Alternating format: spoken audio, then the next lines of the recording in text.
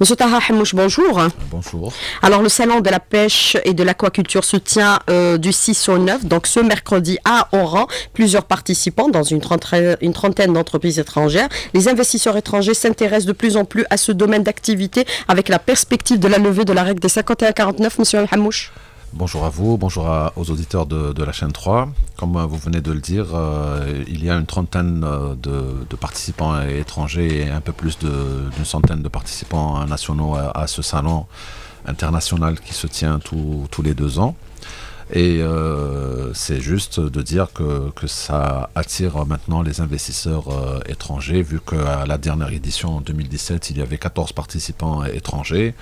Et on pensait que compte tenu de, la situation euh, économique, euh, et vu qu'il y a eu à peu près quatre salons qui ont été euh, annulés au même endroit au centre des conventions d'Oran cette année, on pensait qu'on n'allait pas avoir quand même ce nombre de, participants, mais on a eu l'agréable surprise de voir le nombre des participants nationaux et étrangers augmenter. On est passé de de, 14 exposants étrangers à la dernière édition à, une trentaine euh, d'exposants représentant 11 euh, nationalités, parmi lesquelles les numéros 1 de, l'aquaculture euh, dans le monde, il y a les, Norvégiens, il y a les, les, Grecs, il y a les Turcs, il y a les Indiens, qui, ceux qui viennent participer à, ce salon.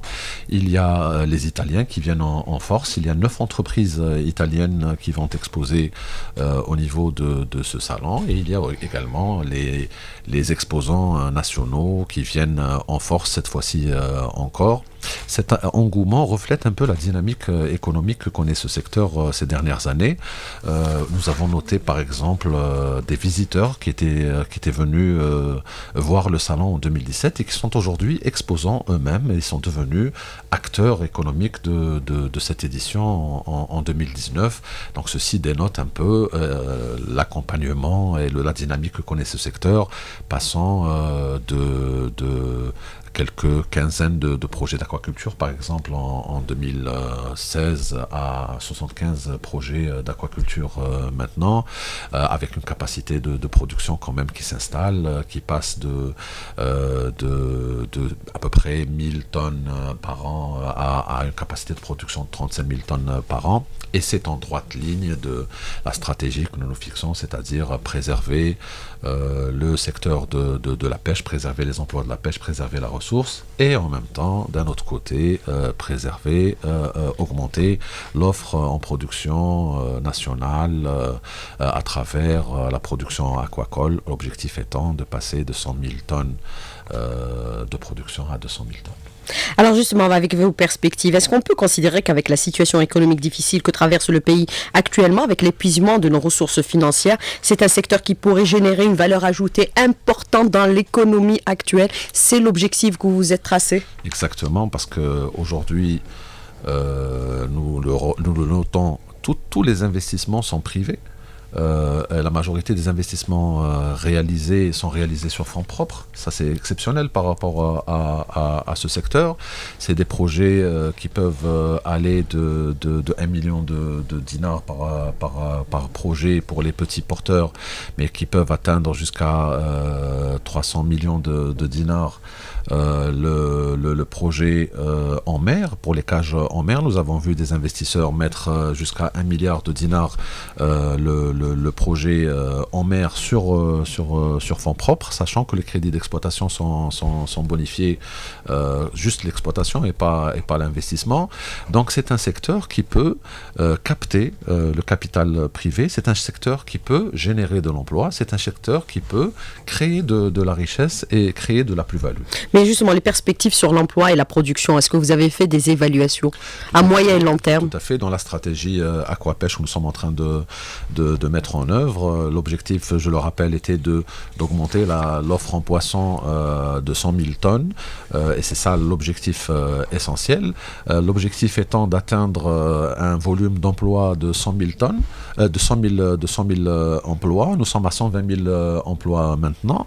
l'objectif étant d'augmenter le nombre d'inscrits maritimes. Nous étions à, à, 20 000 à peu près il y a une quinzaine d'années et nous sommes arrivés à, à 56 000 inscrits euh, maritimes. Euh, l'objectif étant d'augmenter l'offre euh, en formation. Il y a eu 8 écoles qui ont été réalisées aujourd'hui et il y a plus de 8 000 inscrits dans, nos écoles pour, pour être formés dans les différentes activités liées à, la pêche.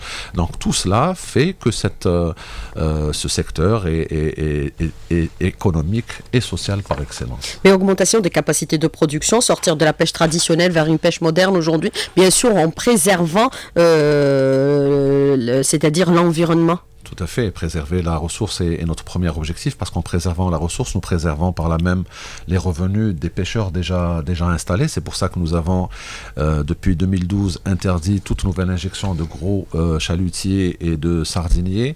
Euh, la pêche en Algérie est une pêche artisanale à, à 70% et qui permet de pêcher les, les, les 100 000 tonnes. Aujourd'hui, dans les perspectives, c'est d'aller vers cette pêche hauturière. Il y a eu l'élargissement de la zone euh, économique exclusive euh, de l'Algérie par décret euh, présidentiel fin 2018. Ceci nous permet maintenant d'aller chercher ces de nouvelles ressources au niveau de, de, de la haute mer à travers bien sûr la formation et euh, la mise en, en place d'une flottille capable d'aller chercher ces ressources euh, à des profondeurs euh, assez, assez importantes. Mais est-ce que les investisseurs pourraient bénéficier des bonifications et des taux d'intérêt quand même relativement intéressants pour pouvoir augmenter leur capacité, aller vers une pêche beaucoup plus performante aux gens? Bien sûr, le, système de soutien aujourd'hui qui existe est, est, basé essentiellement sur la bonification des, des, des taux d'intérêt. Et, donc, euh, tous les investisseurs peuvent prétendre à, cette aide, que ce soit au niveau de, la pêche ou au niveau de, l'aquaculture. Euh, nous avons des écueils par rapport au financement, notamment pour l'aquaculture, parce que c'est une activité nouvelle. Et beaucoup pensent que euh, c'est un investissement très risqué. Donc, les banques ne suivent pas souvent les investisseurs dans, dans ce domaine. C'est pour ça que nous avons de 1 euh, euh, une, euh, une, faible réalisation des relative je dis faible réalisation des investissements. Parce que quand vous avez 670 demandeurs d'investissement pour lesquels nous avons attribué des, des, des, des concessions validées les études c'est des gens qui ont payé leurs études à 2 millions de dinars l'étude et qui n'arrivent pas à décrocher un financement bancaire enfin pas pour la majorité d'entre eux, ça freine un peu l'investissement dans le, dans, le, dans, le domaine. Mais comme c'est un domaine très rentable, euh, avec des revenus importants, avec un retour sur investissement très rapide, parce que euh, le, le, le, coût de, de, la production, je vous prends l'exemple de la dorade, le coût de, de la production d'un kilo de dorade, c'est 400-450 dinars le, le, kilo. Le prix de vente aujourd'hui, compte tenu du marché, euh, et de la pression sur, euh, sur, euh, sur le marché. Et l'offre et la demande? 80 euh, dinars sortis de cage, ça fait pratiquement le, le, le double. C'est extrêmement rentable aujourd'hui, mais nous remarquons que euh, malheureusement, euh, nous ne sommes pas suivis sur, euh, sur ces actions. les investissements sont réalisés par les investisseurs sur leurs fonds propres. Les banques suivent derrière quand l'investissement est réalisé pour le crédit d'exploitation, qui est un crédit bonifié et quand on arrive au crédit d'exploitation, nous avons un peu plus de facilité à l'obtenir. Mais est-ce qu'on peut comprendre par vos propos, M. Hamouche, que les banques ne suivent pas cet investissement, ne favorisent pas euh, ce créneau d'investissement aujourd'hui? Il, y a eu des expériences euh, malheureuses au début de, de cette activité. Il y a Malheureusement, des, pendant longtemps, les voilà, banques finançaient les riches. Il y a eu des, des, des projets qui, malheureusement, ont, ont, ont, ont vu euh, des impayés. C'est normal que la banque réagisse comme ça. Et, et, tout banquier à qui vous allez dire on va mettre de l'argent en mer, et, et c'est vraiment dans un milieu il y a le mauvais temps, il y a les risques liés à, à, à la mer. Ces banquiers, euh, de par nature, vont, être, euh, vont, vont, avoir peur de cette, de cette activité. Avoir peur de prendre euh, des risques. C'est normal. Et, mais c'est des projets rentables, mais, alors qu'on a financé d'autres projets où l'argent n'est pas retourné quand, dans les caisses. Et aujourd'hui, quand vous voyez les nouvelles technologies et quand vous voyez ce qui, ce qui est euh, posé aujourd'hui comme, comme projet en mer, des projets qui peuvent supporter des, des vagues jusqu'à hauteur de, de 7 mètres, et qui sont extrêmement rentables. Quand vous voyez la rentabilité de ces projets, quand vous voyez que ces nouveaux euh, participants euh, remboursent leur crédit d'exploitation, se font rembourser eux-mêmes euh, leur, leur, leur investissement, et je peux vous dire que pratiquement tous les investisseurs ont augmenté leur capacité. Ça veut dire qu'à la première année, quand ils ont vendu la première fois, ils ont acheté de nouveaux réticules. Ils commencent par 8 cages, ils montent à 16, ils montent à 24, ils montent à 32. Donc les banques, il fallait qu'ils financent. S'ils si, avaient peur eux-mêmes de cet investissement, ils auraient pris leur argent et changé d'activité très vite.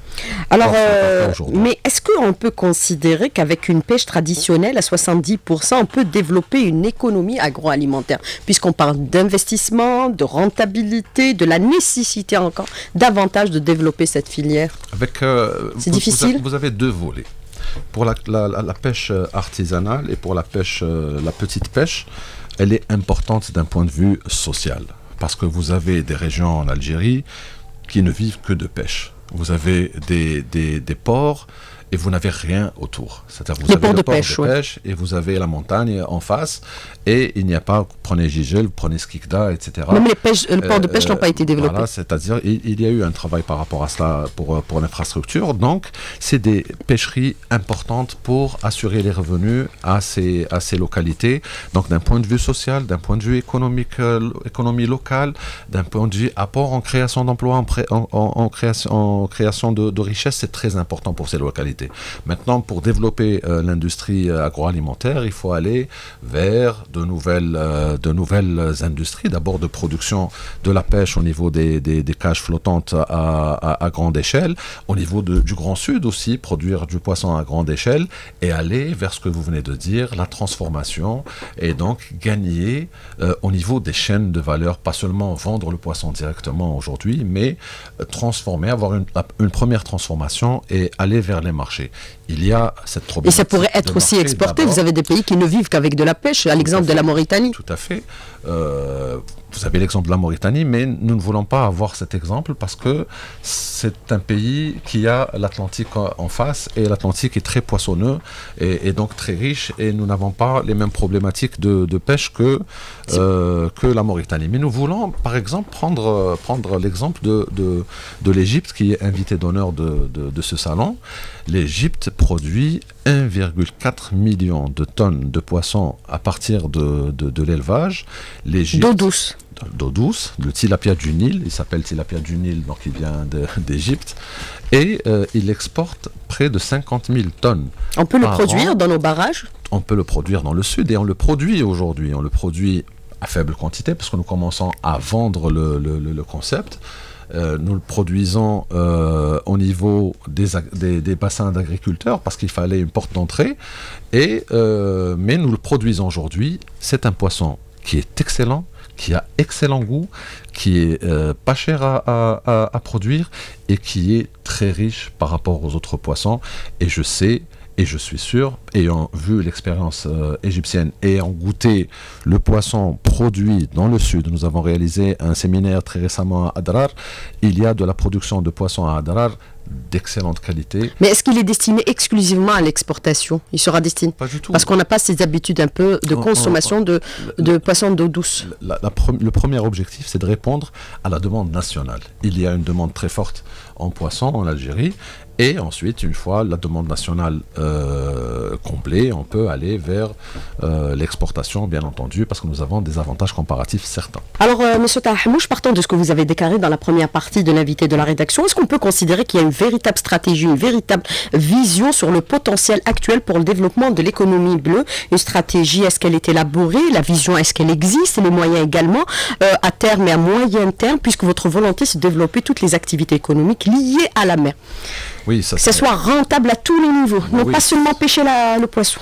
Ça, c'est un, un, nouveau concept euh, qui fait un peu le, tour, euh, le tour du monde et, nous, nous, sommes parmi les, premiers pays à aborder cette, euh, cette, question et à construire une, une stratégie nationale sur cette thématique. L'économie bleue, vous en parlez depuis 4 ans. Oui, mais c'est relativement nouveau dans l'histoire de l'économie qui, qui, qui, est née depuis la naissance de l'homme. Donc aujourd'hui, on se rend compte que l'Algérie et comme tous les autres pays, tournent le dos à la mer. nous n'avons pas, nous n'avons pas profité des richesses euh, qu'offre euh, notre, notre, notre mer, 1600 km de, de, ligne de côte. Parce qu'on a puisé sur le pétrole et le gaz exclusivement. oui, mais nous avons travaillé aussi sur, euh, sur, sur la pêche seulement, donc le, les secteurs traditionnels. il y a énormément de capacités, un potentiel énorme, pas seulement à travers le développement de l'aquaculture comme nouvelle activité économique, mais il y a toutes les richesses biologiques contenues en mer. Aujourd'hui, il y a des industries pharmaceutiques qui se développent à partir de l'exploitation des, algues. Euh, très récemment, nous avons euh, légiféré pour euh, gérer l'exploitation du concombre de, mer parce qu'il y a un marché extraordinaire en, Asie et, ça coûte vraiment, c'est des prix vraiment très très attractifs, très très élevés. il y a aujourd'hui le tourisme balnéaire qui n'est pas qui n'est pas très développé. Il y a le tourisme maritime. Nous n'avons pas d'industrie de la croisière en Algérie il y a maintenant des tentatives d'explorer le pétrole et le gaz euh, en offshore, mais il y a tout le gisement minier qui peut être euh, euh, exploité en, sous-sol. Il y a ces hubs que nous pouvons construire à, travers le développement des ports et des grands ports au niveau de, nos, de, nos, de nos côtes pour justement être une porte, véritable porte sur, sur l'Afrique. Donc c'est toutes ces opportunités liées à la mer que nous pouvons développer. Qu'est-ce qu'elle pourrait générer en... termes, par exemple, de rentabilité aujourd'hui Est-ce qu'on peut considérer que dans cette stratégie de l'économie bleue, vous avez intégré aussi deux aspects qui sont très importants, qui ont toujours été délaissés, à savoir le développement encore euh, euh, du thon, la pêche au thon et le corail? Bah, Plus que ça, plus que la, pêche au thon, il n'y a pas que les ressources biologiques que nous pouvons euh, exploiter, mais exploiter d'une manière durable parce qu'il faut laisser euh, ces ressources pour les, générations futures. Il y a tous les conflits d'usage à, éviter, bien sûr, parce que si nous sommes nombreux à explorer cette mer, euh, à un moment ou à un autre, il va y avoir des conflits d'usage. on ne peut pas je, peux vous citer un, exemple euh, très concret. Euh, à, Alger, par exemple, nous avons développé euh, tout ce qui est Maqam Shahid comme, site du tourisme. Et vous avez un peu plus bas le, musée des Beaux-Arts. Après, vous avez le Hamma comme, bibliothèque et, le jardin d'essai qui, est véritablement un chef-d'œuvre en, en, soi et un haut lieu du tourisme. Et en face, en mer, qu'est-ce que vous avez? Vous avez une station de dessalement d'eau de mer. Je ne dis pas que la station de dessalement d'eau de mer n'est pas importante pour alimenter la capitale euh, Ono, mais vous avez tout un ensemble touristique qui est construit pour faire du, tourisme, et en face, vous avez une station de dessalement euh, d'eau de mer qui va casser tout, cet ensemble. Il était question de la délocaliser, mais le coût est trop excessif. Justement, euh, il y a lieu de penser à un aménagement de, de, de, de, cette, de ces activités pour éviter notamment qu'il y ait, par exemple, une station balnéaire qui soit construite en face euh, d'une centrale euh, électrique euh, et autres. Vous, vous avez l'exemple inverse. Si vous avez une centrale électrique, donc l'eau est chauffée naturellement, en face, vous pouvez faire de l'aquaculture parce que le poisson pousse plus vite quand les eaux sont, sont, plus chaudes. Oui, mais justement, dans cette économie bleue, est-ce que la stratégie, le thon et le corail sont intégrés? Évidemment, ça c'est intégré dans la stratégie économie bleue, c'est intégré dans la stratégie aquapêche.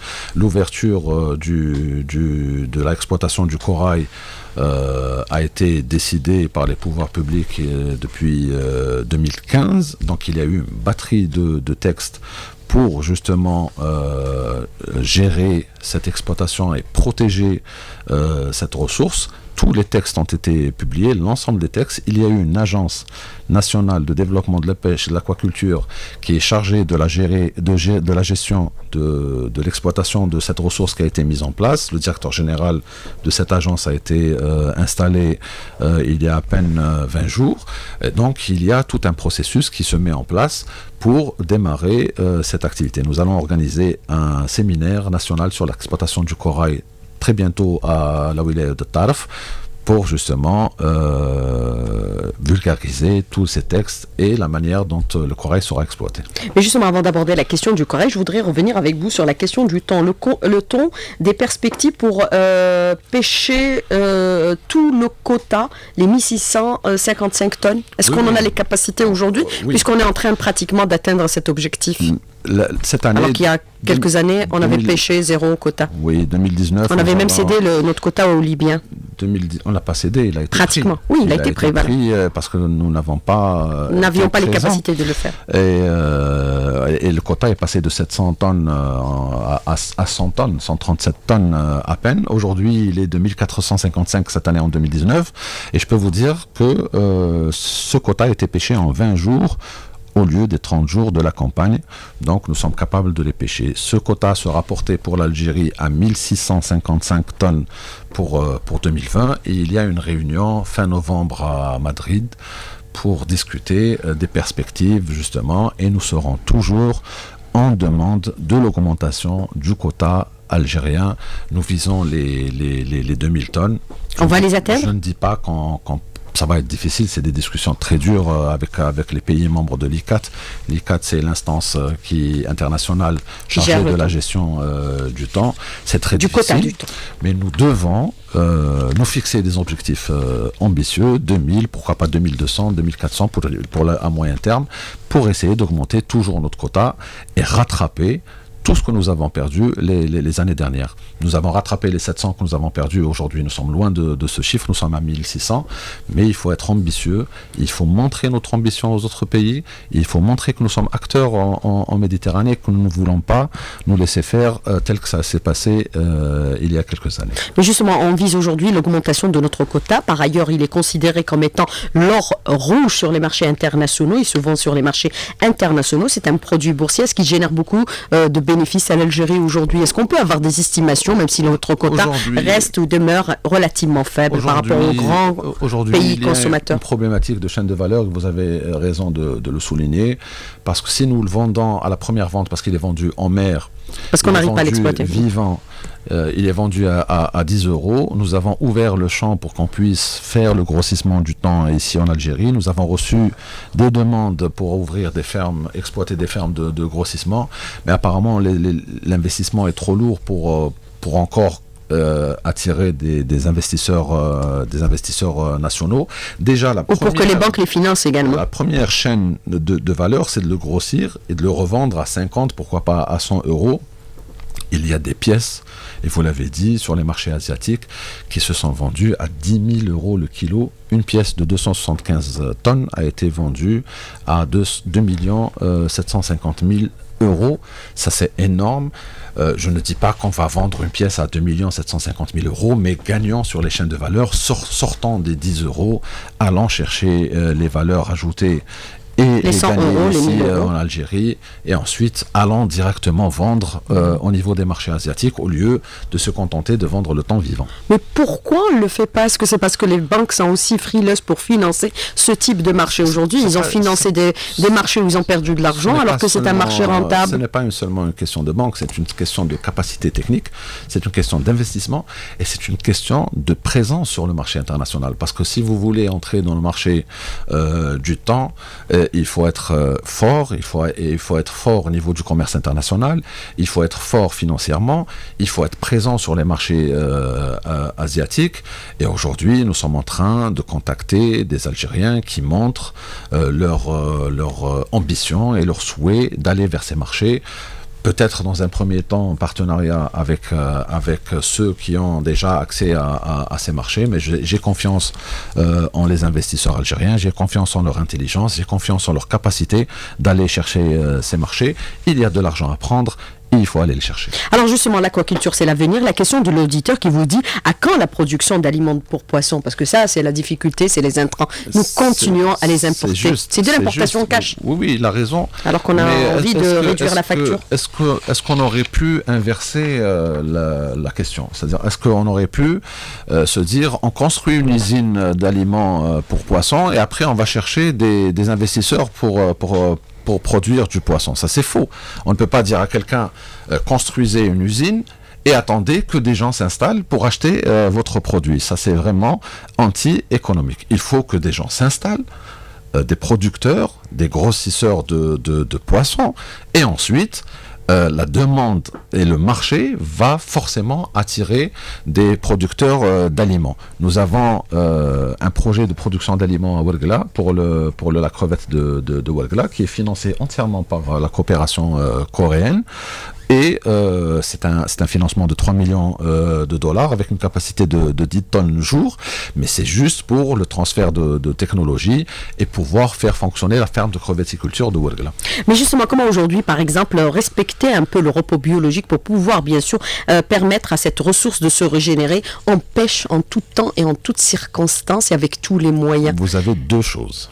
Premièrement, est-ce qu'elle est respectée ou pas respectée? elle est, elle est respectée Difficilement, monsieur. Difficilement le dire, mais elle est respectée. Pas être honnête, généralement. On va dire honnêtement. Si, si, si, il faut appréhender les, les, les choses très correctement si on peut apporter les, solutions. D'abord, il y a eu l'action de durcissement de la loi. Aujourd'hui, il y a de peines de prison, des peines de saisie de, de, de, l'unité de, pêche euh, quand elle, est, quand elle est en infraction.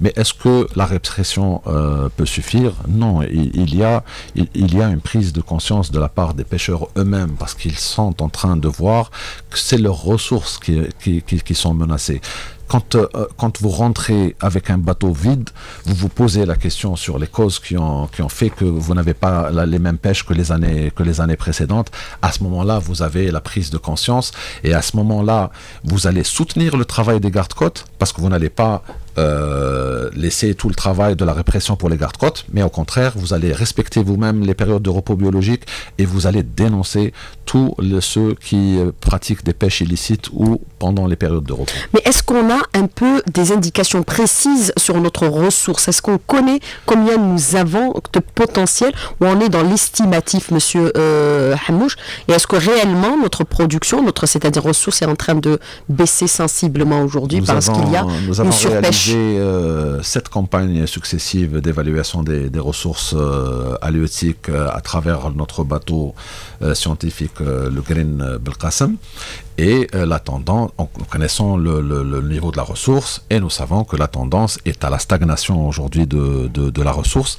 Nous ne voulons pas injecter de nouvelles unités de pêche, justement pour, éviter la surpêche. cette, cette, cette, ressource. Et c'est exactement ce que nous sommes en train de, de faire par rapport à ces questions de repos biologique, aux engins de pêche, à la taille commerciale, euh, aux aires marines protégées, aux lignes de référence pour empêcher les, pêches au niveau des habitats euh, des, poissons, etc., etc. Mais comment on peut entrer en situation de surpêche quand on ne voit pas beaucoup le poisson? C'est la question de l'auditeur. Rapidement, Monsieur Hamouche, s'il vous plaît. C'est clair, parce qu'il y a un déséquilibre entre offre euh, et, demande, parce que la demande a augmenté d'abord du fait de l'augmentation naturelle de la population. Quelle est l'offre actuelle sur le marché? actuelle, elle est de 120 000 tonnes sur, euh, sur, euh, sur le marché. Et vous avez aussi une demande supplémentaire qui est issue euh, de l'élargissement des zones de distribution, parce qu'avant, pour manger du poisson, il fallait se, se, déplacer au niveau des villes côtières. Aujourd'hui, vous avez du poisson à Béchar, vous avez du, de la sardine à Béchar, vous avez du matin. C'est de la vous avez la sardine. Non, non, non, non, de la sardine n'est pas élevée. Vous avez de la sardine à, à, à Batna, à Biskra, à Elwed, à, dans toutes les villes. Donc vous avez augmenté la demande en augmentant la distribution et vous avez augmenté la demande en augmentant naturellement euh, la population. Donc la pression augmente. La seule réponse à cette problématique, c'est de produire du poisson à travers l'élevage, que ce soit l'élevage en mer ou l'élevage dans l'eau douce ou dans le sud, parce qu'il y a beaucoup de potentiel dans le sud. Mais justement, l'aquaculture dans le sud, est-ce qu'on pourrait la développer encore davantage? Et est-ce qu'elle pourrait générer, par exemple, plus de richesses et d'offres d'emploi? Monsieur Hamouche, rapidement, s'il vous plaît, c'est la question de l'auditeur. Euh, je vous le dis. Vous, vous dites que le potentiel existe quand au sud. On, quand on compare euh, les, deux pays, l'Égypte et l'Algérie, nous sommes pratiquement dans le même climat. Ils ont le Nil, certes, mais nous avons beaucoup d'eau en, réserve et en sous-sol au niveau du sud. Nous avons les étendues. Euh, les types de poissons élevés aiment la chaleur et poussent très vite et grossissent très vite quand, euh, quand euh, il, fait chaud. Donc s'ils font 1 400 000 tonnes par an, nous pouvons quand même augmenter nos productions, atteindre des niveaux acceptables et appréciables qui peuvent répondre à la demande du marché. Alors pourquoi ne pas copier le modèle italien, euh, voir que notre problème est dans l'absence de récifs et le poisson n'a pas de refuge pour se reproduire? Vous avez des bus de la CNVI au parc au parc qui roulent, pourquoi ne pas les exploiter comme récifs Voilà la question de la... C'est une bonne question. Nous avons légiféré très récemment. Il y a eu, il y a eu un, décret qui a été publié pour permettre justement l'immersion de, récifs artificiels. Il y a eu des exemples à Naba et à, et à Oran d'immersion de, récifs artificiels. Et il y a des associations, nous avons ouvert la porte à des associations écologiques de pouvoir faire ces, ces immersions de récifs artificiels. Il y a un grand projet qui est porté par, par le réseau Probium. C'est un réseau euh, associatif. Il y a un autre réseau, euh, à, Oran, qui fait le, même travail, euh, qui euh, a pour projet d'immerger des wagons de la SNTF euh, en mer pour justement construire ces habitats artificiels pour pouvoir euh, favoriser la reproduction euh, du poisson, mais, même, mais pas seulement, parce que c'est à des fins aussi de protection, c'est à des fins scientifiques et c'est à des fins de loisirs également, parce que les plongeurs trouvent beaucoup de plaisir à nager au niveau de ces récifs artificiels. Alors, autre question de l'auditeur qui vous dit notre poisson est vendu en haute mer aux Espagnols, aux Italiens, aux Marocains, c'est la raison pour laquelle on ne le retrouve pas sur le marché. Rapidement, parce qu'il ne nous reste pas beaucoup de temps, M. Hamouch, la question de l'auditeur exporté officiellement euh, avec des papiers. Parce Légalement. Que, parce que vous ne pouvez pas euh, maintenant échanger euh, en mer. Je peux vous raconter une anecdote. Quand je, pose, quand je pose cette question aux pêcheurs, ils me disent c'est encore plus facile, si on veut être dans l'illégalité, d'exporter du mazout. Si on emmène du mazout aux Espagnols, ça nous rapporte beaucoup plus d'argent que si on, donnait de, de, de la crevette. Ils ramènent la crevette ici, elle est congelée au niveau euh, du bateau, elle est exportée officiellement et elle a un bon marché, donc pas besoin de, de, l'exporter illégalement ou de la donner en mer. Est-ce qu'il faudrait développer La seule chose qui est vendue vivante, c'est le temps rouge et c'est vendu officiellement avec des papiers. C'est très surveillé par les inspecteurs de l'ICAT. Mais vous ne nous avez pas dit combien ça nous générait comme ressources financières? Le, le, thon rouge. Le rouge, vous prenez 1400 tonnes et vous faites euh, fois 10 euros, ça vous fait 14 euh, millions d'euros. Alors, euh, autre question de l'auditeur qui vous dit aujourd'hui, on s'intéresse à l'élevage alors que l'Algérie dispose de 1600 euh, km de lignes de côte. N'est-ce pas là une sorte de politique de l'autruche? C'est vrai qu'on n'a pas beaucoup de ressources en mer. C'est pas juste parce que euh, on, compte la ligne, mais on compte pas le plateau euh, continental, parce que les, ressources se trouvent, au, se trouvent au niveau des plateaux euh, continentaux qui sont qui sont larges. vous avez un plateau continental qui est large au niveau de l'Oranie, un plateau continental qui est un peu large au niveau de Annaba, mais pour tout le reste, vous atteignez des profondeurs au-delà des 1000 mètres très vite au niveau au niveau des côtes. Donc le système de calcul c'est pas c'est pas le même. S'il y avait la ressource, je peux vous promettre que nos pêcheurs pourrait euh, la pêcher. Euh, nous avions 2000 euh, unités qui pêchaient les 100 000 tonnes. Aujourd'hui, nous sommes à 5000 unités. Nous ne pêchons pas plus. Donc, ce n'est pas une question de nombre ou de technique, c'est une question de ressources. Alors, autre question de l'auditeur rapidement également, Monsieur Hamouche. La question est pourquoi, malgré l'arsenal juridique, la pêche au corail est toujours fermée? Les raisons est pour laisser la mafia du corail sévir si la pêche officielle s'ouvre. Il n'y a plus de bandes, il y a de plus en plus de bandes mafieuses et des familles qui en dépendent et qui font dans, bien sûr, la pêche illicite du corail. Je vous l'ai dit tout à l'heure. On l'ouvre pas parce qu'on laisse la mafia la prendre. Nous avons finalisé euh, les, les, textes, nous avons installé euh, l'Agence nationale de pêche et, d'aquaculture. Donc l'ouverture euh, de la pêche au corail est, imminente. Même le, ministre de l'Agriculture en a parlé récemment. Donc c'est pas, ça, ça, ça, prendra pas plus de temps que ça. Est-ce qu'on peut considérer qu'aujourd'hui la pêche et l'aquaculture c'est aussi des gisements importants pour développer l'investissement dans notre pays, développer la richesse, au moment où nous sommes en situation de crise financière. C'est juste, euh, vous n'avez pas d'autres réponses. On s'y intéresse pas beaucoup, mais c'est important. C'est des gisements importants. Les gens commencent à, s'y intéresser et effectivement, c'est des gisements importants. Ça rapporte euh, beaucoup d'argent, ça crée euh, de, de, l'emploi, ça crée des dynamiques économiques et surtout, ça a une influence sur les prix au niveau des, des, des marchés. Aujourd'hui, vous pouvez le remarquer, le prix de la dorade a, nettement baissé. Le, le, kilo de dorade qui était à 2000, 2200 dinars très récemment et a baissé à atteint 1000 dinars. Et ça, vous pouvez le constater au niveau, euh, au niveau des marchés, la dorade d'élevage, bien sûr. Et vous pouvez, euh, vous pouvez avoir cet effet. Si vous développez l'investissement, si vous augmentez l'offre en produits, vous allez avoir un effet sur le marché, forcément. Alors, autre question de l'auditeur qui vous dit quelles sont les vraies raisons exactes qui font que aujourd'hui la, la, la, sardine soit excessivement chère et qu'on n'arrive pas à y accéder. Elle atteint parfois même les 1000 dinars. 1000 dinars, je ne l'ai pas vu. Euh, ça, si, dans les grandes surfaces, moi je l'ai vu. Si vous avez vu euh, de la sardine à 1000 dinars et de la dorade à 1000 dinars, moi je pense que les, consommateurs pourront très vite choisir leur, euh, leur, leur poisson. Donc c'est pas possible que cette, cette, cette espèce attienne les, les, les 1000 dinars. C'est vrai qu'il y a des oscillations dans, dans, les prix de, de la sardine, mais c'est relatif d'abord à, à, la demande, ça on l'a dit, mais c'est relatif aussi à la saison de, de, de la pêche. Il y a eu, hier par exemple, il y a eu un Vent. Vous n'allez pas espérer trouver du poisson aujourd'hui en grande quantité sur le marché. Pêche à l'arc et à la dynamite, c'est interdit et ça existe quand même Totalement euh, interdit. Mais ça se pratique. Je ne sais pas si ça se pratique ou est-ce que ça se pratique, mais je fais totalement confiance euh, au service national des gardes-côtes qui font un travail formidable, d'abord pour la, surveillance de nos euh, frontières, mais aussi pour la surveillance de nos ressources et la protection de nos ressources. Alors, qu'est-ce qui est fait aujourd'hui pour éviter que nos mers soient polluées par, par exemple, ce que vous êtes en train d'appeler aujourd'hui la pêche, euh, la production justement artificielle, c'est-à-dire l'aquaculture? C'est l'auditeur qui vous pose la question parce que c'est, ils disent que c'est extrêmement polluant. Ah, c'est ce que disent euh, les gens qui ne veulent pas que cette, euh, cette activité se développe. Peut-être qu'ils ne veulent pas que la dorade se vende à, à, 1000 dinars. La Norvège pratique, euh, pratique cette, cette activité. Même le dessalement, c'est polluant. Hein. On ne peut pas dire que la Norvège est un pays ennemi de, de, l'environnement.